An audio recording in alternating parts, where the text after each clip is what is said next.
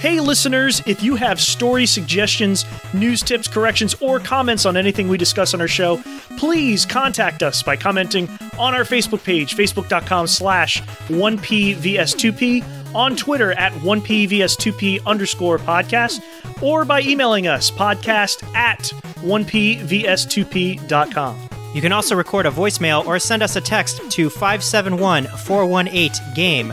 That's 571 418 4263. Record or write in, and we might just read or play your message on our next episode. Hideo Kojima denies creating Metal Gear Survive. Forza Horizon 3 drifts in next week. And a game developer is suing Steam customers for $18 million. Find out why, plus this week's new game releases, announcements, and more. It's Friday, September 23rd, 2016, and you're listening to the 1P versus 2P podcast.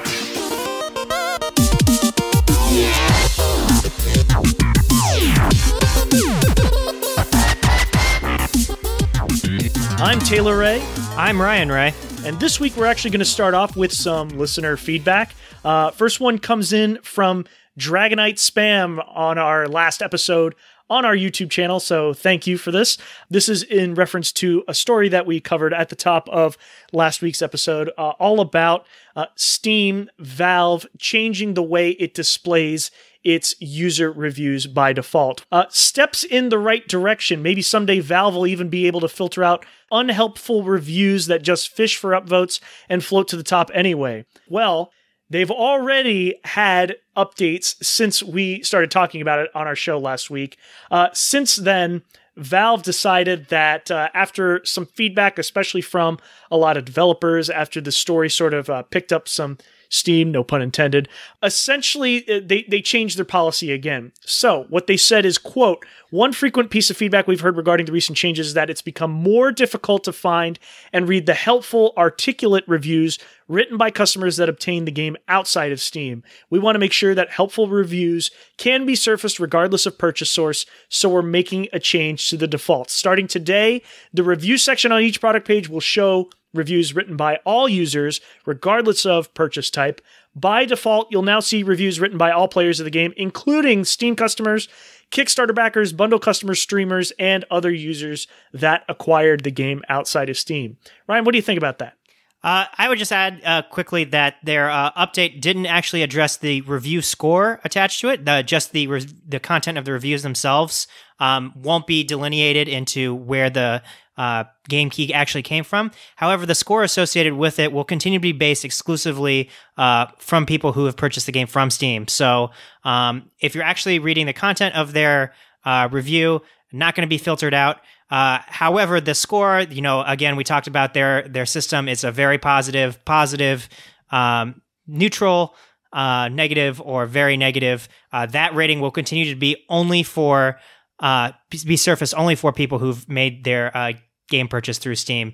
And um, I think this is Valve, uh, you know, listening to some of the feedback that some of the developers and gamers have uh, come back at them after they made this change. Um, it's good they're listening. Um, I am unsure that this is the the full breadth and depth that people really wanted, but it seems to be like a half step between um, everything that was being uh, asked for. So uh, good on them for listening. Yeah, and I don't really know if there's any perfect way to really sort of counter all these like kind of fraudulent reviews that um, some shady developers uh, encourages users to put up there. there. I don't think there's really like a great way to like combat that that sort of artificial system uh, that people use Steam to, to game with. I don't know. I, I do have to say though, I, I, think it's it's a good thing that Valve sort of backtracked a little bit to not punish um, those sellers who uh, had a lot of Kickstarter backers, for instance, and then all of a sudden, you know, their reviews weren't being seen at all. I think uh, our listener Dragonite Spam brought up a very good point: is that it's hard to sort of filter out right now still those really crappy like one line uh, joke or meme style reviews that don't have anything substantial to say about the game, um, and then they get upvoted all the way to the top. You know, it gets a bunch of thumbs up, and then all of a sudden we see it right there on the front of the store page uh, for any given game. It's really kind of obnoxious and not helpful to anyone. It's more like a like a, a forum uh, post uh, that that's oftentimes what the those store reviews, um, those Steam reviews seem to turn into. So if there was a way Valve could address that, that would I think be another positive thing they could do. Well, let's let's transition into the next story, which is actually another uh, update with Steam. A game developer is suing 100 anonymous Steam users for $18 million. So, the game developer here in question is Digital Homicide. Uh, if you have heard of this game studio before, uh, they are perhaps infamous for uh, previously suing game critic Jim Sterling for $10 million. Uh, Jim Sterling, of course, uh, formerly of Destructoid, he has his own YouTube channel called The Jimquisition. He reviews a lot of games, does a lot of games criticism. Uh, in the past, Digital Homicide has charged uh, Sterling with uh, libel and slander for harshly criticizing their games. That lawsuit is still pending, uh, but currently, Digital Homicide is now pursuing legal action against 100 Steam users, calling them a hate and harassment group in recent court filings. So, let me talk a little bit about the specific details of this new lawsuit filed in Arizona earlier this week. Um, Digital Homicide was founded by two brothers. Uh, one of the, the two brothers, uh, co-founder James James Romine, asked for a, about $18 million from users with handles like Demon Sword and Nathos. Uh, the suit, which uh, asked the court to subpoena Valve for the identities of these users, lays out a large list of allegations, some of them including stalking, harassment, criminal impersonation interference, so on and so forth. And it it got to a point where uh, the digital homicide was monitoring all these users and uh, the group the users was accusing digital homicide of basically spamming steam greenlight trying to get their basically crap games onto the service and trying to more or less defraud users there were some uh, stolen assets also implicated in the in the studio's games some games that really look like subpar mobile versions of games. Uh, g- yeah, it was a lot of shovelware. A lot, a lot of shovelware. The Steam group in question uh, was originally called Poop Games and has now have been relabeled to Digital Homicides. And uh, they decided to go after all these users, and we will see what what comes of this. Uh, in response, Valve has gone ahead and delisted all of Digital Homicide's games from the platform uh, trying to defend their users, saying that we're not going to tolerate lawsuits against our users. We're trying to d- defend people who are purchasing games from our service. Taylor, what do you make of all this legal action? And what do you make of Valve trying to step in and defend the users? It's really high time that they started policing what goes on in Steam Greenlight and what is being curated, what is being highlighted uh, in their own store. I mean, we've talked about this time and time again about Ryan. You described it as a libertarian approach to Steam. Valve takes this very hands off approach to a lot of things, and we end up with situations like this where it gets really, really out of hand, and all of a sudden you have a developer being pitted against its own customers, and it's a horrible, horrible situation. Um, I don't feel like anyone really wins here. Um, Valve looks bad, Digital Homicides looks bad, all these Steam users look bad. And someone who put it really, really well was Nathan Grayson, who put up this editorial on Kotaku um, and highlighted a lot of the reasons why this lawsuit was really sort of Valve's fault. And uh, he said a couple of points. Number one, Valve refused to curate Steam in meaningful or consistent ways, except when things reach a breaking point and the damage is already done, like I said before. And then number two, Valve allows and systematically endorses Steam users to behave in ways that are toxic, verging on abuse with developers and each other. So, yeah, I, I couldn't agree more more with those statements. Um, it's just really, really an ugly situation, uh, and they should have removed G- Digital Homicides games a long, long time ago. Obviously, you can't look at them now, but if you trust me, I took a look at some of them earlier this week um, while this was still happening, right before Valve decided to remove all their games uh, from Steam, and they looked horrendous. I just want to bring up two more points and then we can move on. Uh, I think the third third point here really is that Valve is also benefiting monetarily from having more games available on its platform, right? They take a, a, cut from every game that's sold on Steam. So, regardless of how they actually feel about the quality of games that are being published on its service, Valve is making a cut uh, regardless uh, based on how much is being sold. And they've made money off of Digital Homicide's crap games, and now they're turning around and shutting off the valve. I think that's kind of Digital Homicide's point in all of this. If you're op- having a free and open marketplace, you know, it's it's kind of uh, hypocritical to on one hand denounce the actions of one developer and game publisher uh, while trying to continue to make money off of them. And the last point on this is that also, you know, this might set a legal precedent. We as video gamers, as as people who are in the sort of journalism world, you know, we write reviews, we give opinions, and sometimes games are crap. Uh, we we have a more or less obligation to tell our audiences that, right?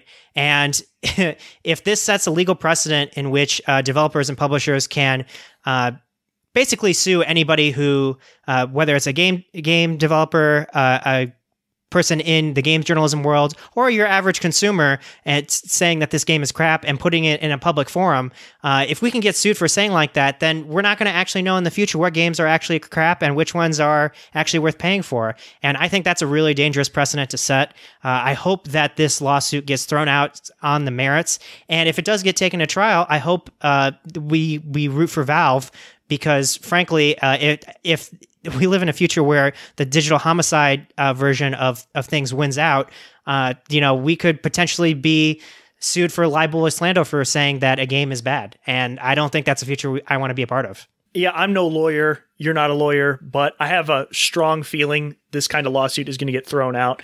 Jim Sterling, I think, you know, love him or hate him, being sort of the, the first to really deal with this kind of situation um, really opens our eyes to this kind of thing. And um, if developers and publishers have the right to to censor the audience, to censor critics, it's really, really a bleak future. I don't think it's going to happen, but if it does, man, that that would be a huge, huge nightmare to try to police everywhere, not just through Steam reviews, through Steam groups, but even on places like YouTube and Twitter.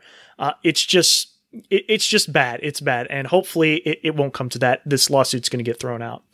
Let's move on to a bit of sad news. It's not super important, but still sad nonetheless. Blizzard is killing the name BattleNet. That's the name they've used um, for their internet platform since 1996. Long time. Um, what are we going to call this thing from now on? Um, you know, ever since I remember playing um, Diablo 2, uh, Warcraft 2, even before that, online using you know 56k a dial-up modem. We always knew that the the multiplayer service that uh, blizzard hosted called battlenet was a great name. And all of a sudden they've taken this uh, approach. They said to this announcement that um, there won't be a new name. They're not going to replace the name battlenet the company says they're just going to refer it to as blizzard tech. But nonetheless isn't this sad? I think this is sad. BattleNet represents uh, an era of of gaming that's uh, long far gone. You know, the idea of BattleNet in the in the first place was kind of a, like a tailored matchmaking service that that was really like revolutionary at its time. Um, you know, it it kind of gave it a distinct name. It it helped people connect. It it helped create kind of like two separate identities, right? If you were playing a Blizzard game, you knew it was going to be associated with BattleNet. Um, I think it's one of the great like few few things that like video game names have actually like super been important about. Like I think matchmaking is kind of like a vague name that that could kind of mean a few different things. Battle.net is like is like I imagine if Xbox Live or PSN was called BattleNet, right? Like most multi online multiplayer games are exactly that. You're battling people over the internet, right? Like that that was like a super novel concept at the time. Uh, you know, the launcher for a long time for uh, StarCraft, Warcraft, World of Warcraft, all of Blizzard's properties has been Battle.net. It's it was part of their storefront, and it's it's crazy to me that they're changing it. That they're just going to make it a very generic brand name. Man, this is a Battle.net is like takes me back. That that product is about twenty years old it's good to see that Blizzard is still with us. Uh, they're one of the few companies from that era that's still kind of um, continue to be innovative in this space. But man alive, I'm going to miss the name BattleNet. Yeah, it's really, really iconic. I'm sure it had to do with some weird corporate decision, but yeah, it evokes all these really nostalgic feelings inside. And yeah, I hate to see it go. And uh, without much justification personally. All right, we'll move on because there's not much else to say about it. Let's move on to a weird sort of story. Um, Hideo Kojima denying any involvement with the new Metal Gear game, uh, which is called Metal Gear Survive, involving um, zombies uh, as a multiplayer game. At Tokyo Game Show, Hideo Kojima briefly talked about it and how he has absolutely nothing to do with it. Uh, during this audience Q&A, he was asked if the rumor was true that Metal Gear Survive was his idea and then he responded, quote, "It has nothing to do with me." I know absolutely nothing about it. Well, for me, Metal Gear is espionage with political fiction, right? So because of that, there's no reasons that zombies would show up. End quote. Of course, this was all translated from Japanese, but nonetheless, here we go. Definitively, we know he has no involvement, so it has to be bad, right, Ryan? yeah, I mean, what's kind of amazing about the whole Kojima Konami saga is that basically everybody, everybody who was following the story, every all those fan theories, like eventually bore out, right? Like we knew Konami was going to crap out like a pachinko game. Now we know that they're probably going to crap out a uh, zombie survival game based on the same IP, right? Like the the Fox engine that was used to make um, Ground Zeroes and Metal Gear Five was expensive, and it turned out to be a, a that game turned out to be a real critical success, but it may not have been a financial one for Konami. So it's no surprise that they're trying to reuse this ass the, their assets to uh, make another game out of it, but. Uh, I just, I, I, just continue to shake my head. I think we were right. In I was recently listening to our uh, 2015 Game of the Year awards, and we did uh, award the uh, that this whole saga our like biggest story of the year, and it just continues to pay di- dividends. Like like just stop. All the drama right? All the yeah. drama. Just stop. Just stop. Like and kojima wants it to stop. He wants to move on. He wants to move on with his life. He's working on a new game called death stranding. Konami continues to want to like play play the, this fine line. It's like well Ko- kojima didn't really want to like put his stamp on it but his ideas were kind of sort of his. Who, who i don't know who put the that rumor uh, out on him in the first place but I'm glad he's finally p- putting it to rest. Let, let's all move on. And the sooner Metal Gear Survive comes out and, and we decide whether it's a good or bad game or not, we can sooner move on from Metal Gear as a franchise at all. I, I agree with him that Metal Gear is really about espionage with political fiction. It has to have an actual walking robot nuclear tank to, to be called Metal Gear, right? That's the whole premise of the thing.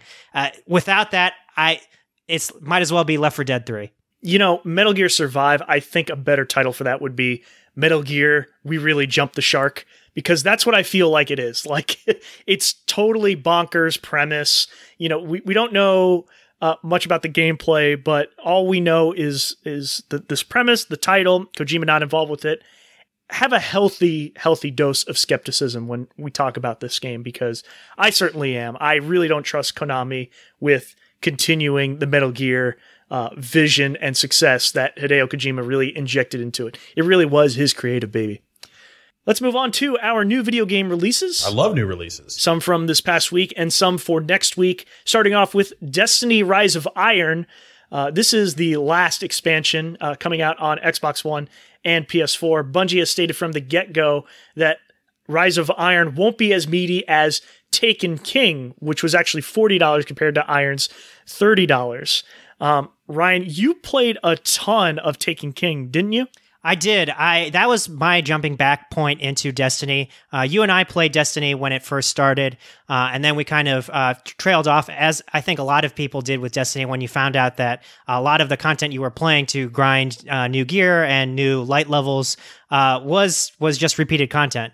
It wasn't fun. It wasn't fun. It felt the base game of Destiny just felt super incomplete. Right. And then the two expansions that they did after that, uh, House of Wolves and I forget I'm forgetting the name of the other one, uh, were very like incremental upgrades. They added a few missions, didn't really do very much. They also added two new story raids. Uh, Taken King was kind of like a, a true like PC level expansion of the game. Uh, that was when Destiny got good again. Uh, it had a very interesting story, uh, new enemy faction called the Taken, and uh, the raid was actually very good. Uh, that was it got me to participate in a, in a, raid, and I've never done that in an MMO style game before.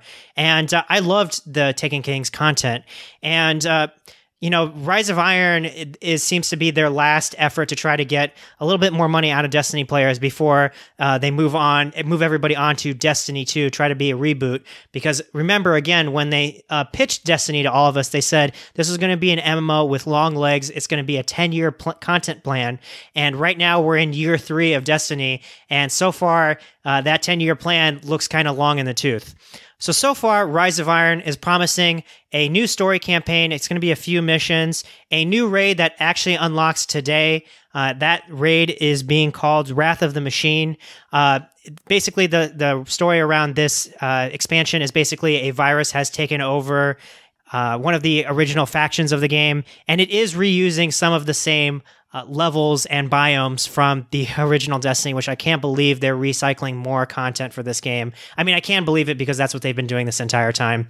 Uh, the the actual uh, exciting part, I think, for a lot of people who are still playing Destiny, is that uh, they are including um, more exotic weapons, more loot. Uh, the loot has system has gotten a little bit better. Uh, the random drops come more frequently. It is a little bit easier to increase your light level and actually become raid ready. And, uh, you know, I think with this expansion, Destiny has finally become a full fledged game. I just think it's quite a shame that three years into Destiny, it took this long to put in content to the game that uh, had it been there from the start i think the conversation around destiny would have been completely different right like if we had had all these expansions all this all this like maybe have the DLC like like maybe only two DLC packs instead of four, and have more of that that base game have uh, beefier from the start. Like we would all be continue to be playing Destiny, right? Like I think the gunplay in it is super good. I think there's some really interesting stuff around Destiny, but uh, the way that content kind of got staggered out from the gate and the way that they reused a lot of the same missions, the way you had to kind of like grind out loot and basically play the same three strikes over and over and over and over again, I think really killed it for a lot of people. Well, and then on top of it, you have this new Destiny the Collection Edition, which is out now on PS4 and Xbox One. It's the $60 bundle that has the base game and all DLC, including this latest one, Rise of Iron. So if you were looking to jump into Destiny, that's probably the best way to do it because Rise of Iron on its own is $30, so you might as well spend the 60 to get everything, all the DLC leading up until this point. But you know, you're you're absolutely right. I completely agree with you. It, it just was super super disappointing um, how repetitive um, how much of the story was just missing from the vanilla version of the game. And had this dlc either come out uh, sooner or was available for free or was a little bit more substantial without recycling the same areas the same content over and over and over again. I remember the first couple weeks we were playing that game the loot drops were just incredibly incredibly bad. And that is sort of defeats the whole purpose of uh, replaying a really good loot driven game. You know, it, I think games like Diablo do this extremely well. They keep those hooks in there. And if it's not there, if it doesn't keep players from coming back, they patch it in quickly to allow for better drops much more frequently. Something they did with Diablo 3 and Destiny Bungie, they just took way too long to recognize that. So I will not be playing Rise of Iron. Um, from what I've heard, Taken King was probably the best DLC uh, leading up to this point. But yeah, it's unfortunate. Perhaps we should just write this all off and wait for Destiny 2, like they said that they're going to be making. It's been uh, rumored uh, in development for a while now. Let's move on to a new IP, Virginia, out now on PS4, Xbox One, and PC. Virginia takes place in the rural town of Kingdom, Virginia, where there's this mysterious disappearance of a young boy, Lucas Fairfax, spinning off an investigation with the FBI. Um, you play this really fresh FBI graduate uh, investigating this case. This game is really all about um, story moments, cinematic sequences, you know, really like disjointed timelines. It seems very intriguing. It's getting a lot of critical praise so far might be worth looking into. So check out our show notes uh, for a link to Virginia. Yeah, this game is getting compared, uh, I think, very favorably to uh, that game that came out a while back, Dear Esther, uh, which is also kind of a game um, a lot like this. Uh, you know, story story moments. You control the character, uh, going back and forth between timelines, and it's also being compared to that TV series Twin Peaks, uh, as far as uh, the premise and kind of the oddities that you're seeing. Uh, I think those are that's a very intriguing premise for a game. There have been a lot of these kind of uh, you know first person, third person, um, story based adventure games. Uh, Firewatch came out earlier this year. Uh, that Dragon Cancer also came out earlier this year. Uh, I think this is a format that has become super popular since the release of games like Gone Home and uh, Her Story last year. And uh, you know, if if Virginia is as promising as the reviews make it out to be, I'm definitely super interested in in this kind of gameplay. Moving on to Forza Horizon 3 for Xbox One and PC. So get this if you uh, purchase the special edition, the game is out today for you. Otherwise, you'll have to wait until Tuesday, the 27th, uh, for everyone else. Ryan, you're a fan of the Forza Horizon games. I want you to tell me what you think of this game so far based on what you've seen uh, and the reviews you've read. Um, because for me, I'm looking to get this game right now. It looks phenomenal so far. Yeah, from what I've seen, the the game's uh, setting in Australia this time is like the perfect setting for an open world uh, racing game.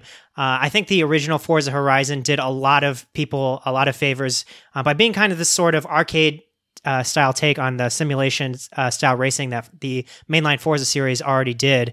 And uh, you know, the first game took place in Colorado. That had a kind of like a lot of open fields and a lot of like, um, you know, turny hills and a lot of great spots to actually do races in. I think Forza Horizon 2 uh, continued that same tradition, but was a little less exciting in. Uh, parts of Europe, I would say like the Netherlands and Scandinavia, a lot of like more narrow paths wasn't wasn't as exciting. And I think from what I've seen of the previews and reviews of Forza Horizon 3, uh, they've added a lot to bring people back into the folds. Uh, they've added dune buggies, they've added pickup trucks on top of the already like massive library of cars that you can uh, choose from to drive in this game. And the game looks beautiful. We're we're living in an era where we're talking about uh, new TV standards. Uh, HDR is is going, going to continue to be a thing. And right now, if you have an Xbox One S and a TV that uh, lives up to that HDR standard, uh, you're looking at a very colorful, beautiful looking game. I would definitely look for this game on a lot of like best looking games for a game of the year.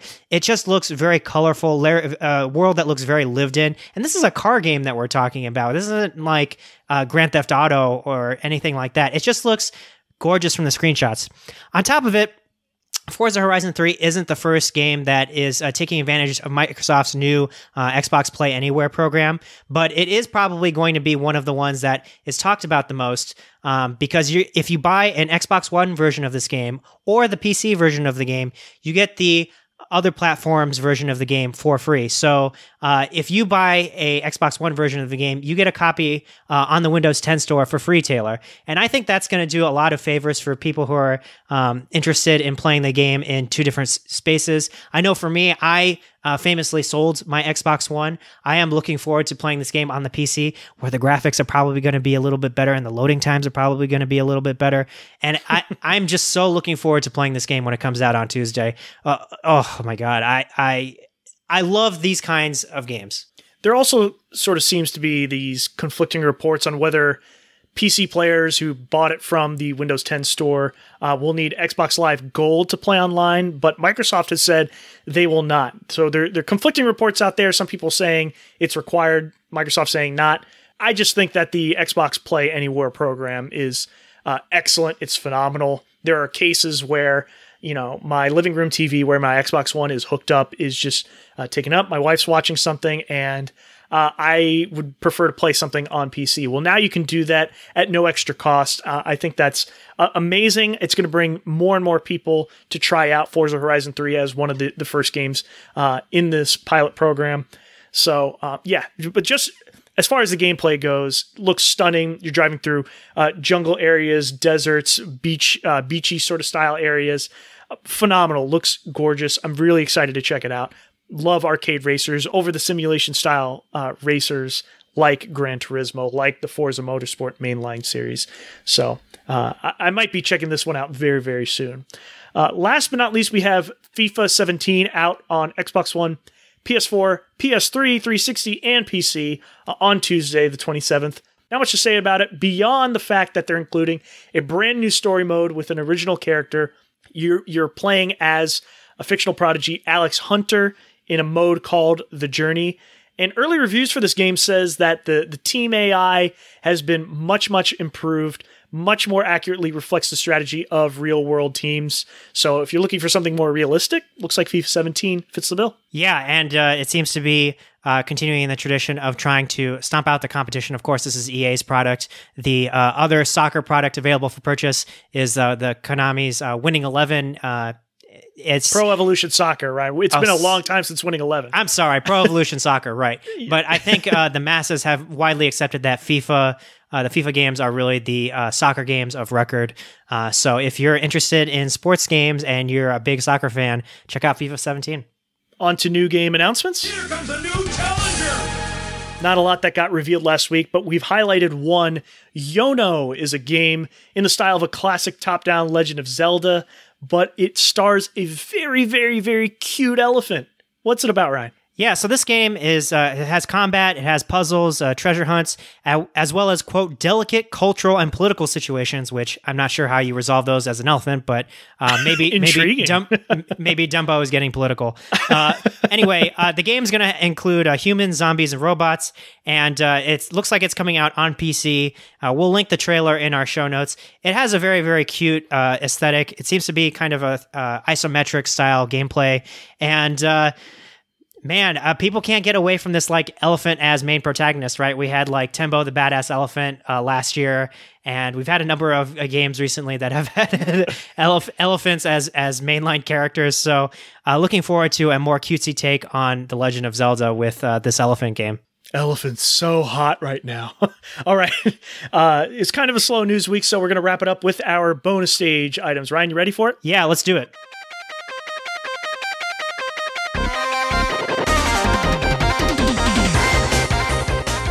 Destiny player Tiger Shark Dude asked the Destiny game subreddit to help petition Bungie to add additional subtitle options for random NPC dialogue and for assistance with the raids because he's deaf. As a result, he asked the Destiny the Game subreddit to help petition Bungie to make the game's subtitle options much more robust. Bungie's community manager Cozmo responded that making the game more accessible for deaf players will be a consideration for the future. I think a lot of game developers should continue to make more accessibility options for game gamers who are disabled, who are deaf, who are colorblind. So let's let's get on let's get on board with this petition. A new study confirms that people love to play Pokemon Go while driving. This from JAMA Internal Medicine. The study searched for Twitter posts and Google News reports that included words like Pokemon driving a car, reviewing the data, and from the study, I'm going to quote it here 33% of tweets indicated that a driver, passenger, or pedestrian was distracted by the game, suggesting there were just 114,000 total incidences reported on Twitter in just 10 days. During that same time, there were apparently 14 different reported car crashes that involved playing Pokemon Go. I can't believe this is a thing. I mean, seriously, people, Pokemon Go. It, I mean, come on, it can wait. I don't care. Just get out, stop, get out of your car, park. Uh, don't affect traffic. Don't endanger your life over something so so stupid. All right. Now off my soapbox. YouTuber YBR tried to play Overwatch's Lucio using two turntables from DJ Hero. He mapped movement to the left turntable and aiming to the right, while shooting and special abilities linked to the buttons on either one. He wasn't able to work out all the kinks of the setups because the game's uh, speed mode means Lucio automatically walks forward. As Lucio said, let's break it down. Oh, what we just did. What are you talking about? All right, that's it. Remember to listen and subscribe to our show, the 1P versus 2P podcast, wherever you listen to podcasts, including iTunes, Stitcher, Google Play Music, TuneIn, or Clammr. Or bookmark our site, 1pvs2p.com. Our sources for this week's stories have been posted at the link in the show notes.